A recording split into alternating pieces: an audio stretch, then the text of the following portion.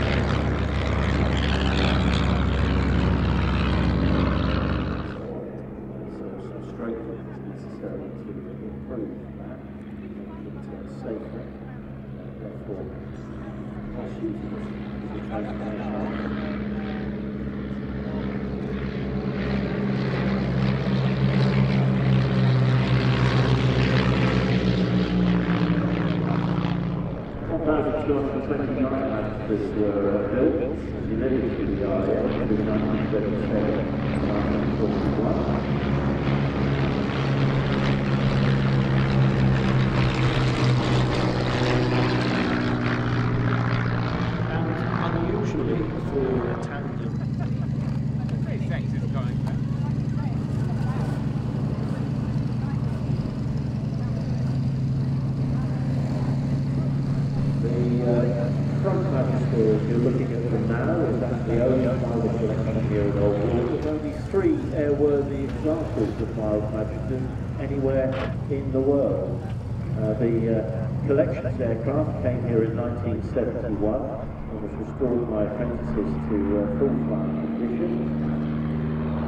Peter Holloway's aircraft was uh, found in pieces in uh, the Royal Bureau Institute in 1971 and uh, it was stored in the Christian community that, uh, say, uh, to be of the collection here at uh, Old Wolf Science Museum.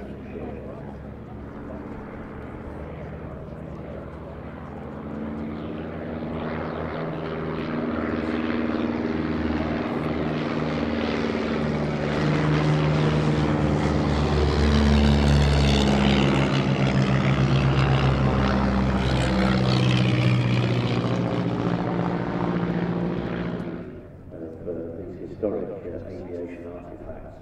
And they've got uh, the time, the money and the commitment and uh, the love above all else to actually put this aircraft back into the skies.